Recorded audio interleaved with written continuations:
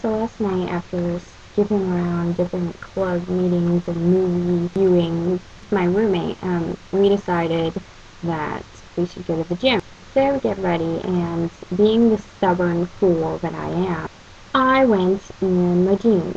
Yes, my jeans. So I'm getting on the elliptical, I'm doing good. After 30, 35 minutes, lost about 250 calories, which I'm used to um, working on the treadmill, so I mean, that was good for me. I go downstairs with my roommate, and she's using like the strength training machines. So I reluctantly give it a shot, thinking, well, you know, I suck at these things. Long story short, I basically got in trouble. Call me naive, but I didn't know that.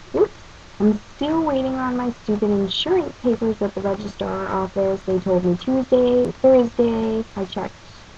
Not kind of upset about that. They, they said they were late. They're like behind and everything.